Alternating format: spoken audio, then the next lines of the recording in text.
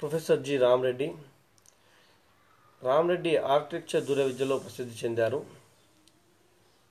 ఈయన ఈయనను దూర విద్య పితామహునిగా పేర్కొంటారు.